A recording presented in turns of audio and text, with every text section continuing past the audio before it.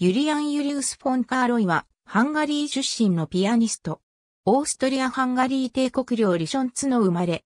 幼少期より地元で有名なオルガニストだった父から音楽の手ほどきを受け、12歳の時にブダペストで演奏会を開いて、バルトーク・ベーラーの地を得、バロー・マルニットの訓導を受けることとなった。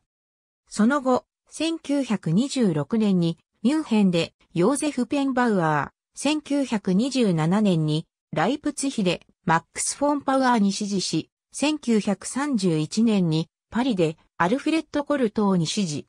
1932年から1934年までフランツ・リスト音楽院のドホナーニ・エルネーの下で研鑽を積んだ。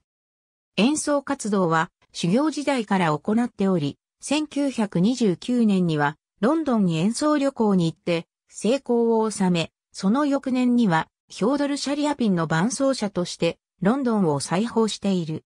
フランツ・リスト音楽院を卒業した後は、ヨーロッパの主要都市でコンサートを重ねて、名を挙げ、1951年にはカーネギーホールでデビューを飾った。